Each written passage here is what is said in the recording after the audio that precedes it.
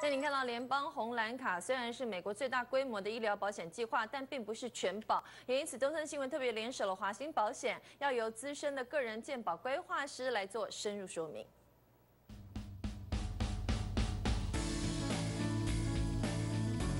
红蓝卡的 Original Medicare 不包括以下哪一个项目？A.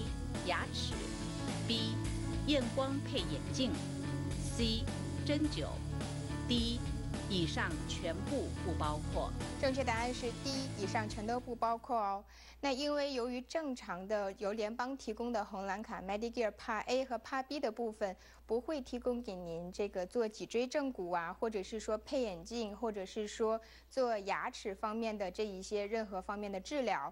所以是说，如果您有在申请到红蓝卡 Medicare Part A 和 Part B 的时候，记得一定要购买补足计划。那很多的补足计划 HMO。计划里面就有加这一些福利在里面。那同时呢，如果您现在是红蓝白卡的用户，您也可以享受到这一些福利。而且呢，针对于红蓝白卡，您的开放投保时间并不是在每年的年底，而是在每年不管什么时候您有任何的需求，都可以提出申请做更改。那如果您有任何问题，可以写可以咨询您身边的保险经纪。